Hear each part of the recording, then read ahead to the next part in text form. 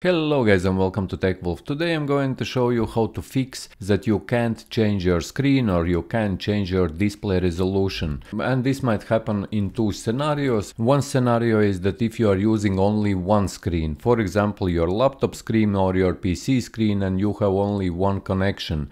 And another scenario is if you are using some device, if you have two screens or for example if you have even three screens by using some docking station or directly connected to your PC or directly connected to your laptop guys.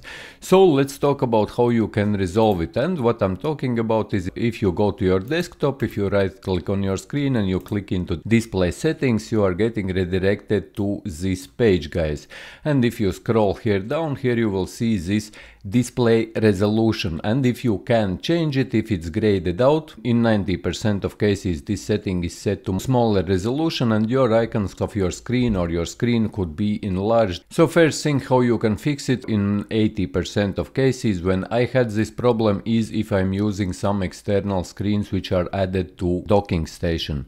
This could be the problem if your docking station display port or HDMI port stopped working properly or for example you have a bad connection of wire.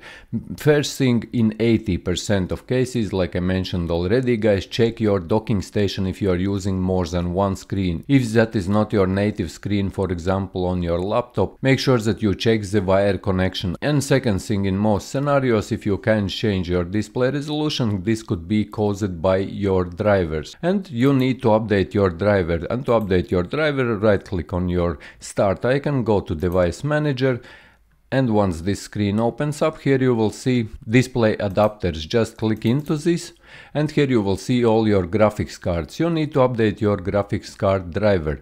In my scenario as you can see I have Nvidia GeForce GTX 1650 Ti graphics card and to update your driver I believe that you know how to do it. You right click here and click on update driver and here you can search automatically for drivers and update from your Windows or you can browse computer for drivers and update your driver. And third thing what you can do is search for updates of your computer computer. In some scenarios your computer might not be updated. To do this click on your start icon and in search you type in updates. Here you will see first tab check for updates just click into it. I know that in my computer I have these two updates. I will do this and update my computer myself. If you will also have here updates which need to be updated to your computer also do that guys. And fourth thing what you can do is, is simply restart your computer not shut down it but restart because when you are restarting your your PC, you are restarting all software and all programs which are on that computer rather than shutting down. If you are shutting down, you are shutting down just the current state of your PC. That's why in some scenarios all programs are not being restarted fully. That's why you need to restart, not shut down, but click on restart and restart your PC and that could also solve your problem. So yes guys, hope that you found this video useful. If you did, leave a like, share this video, subscribe to the channel if you are new and see you in the next one.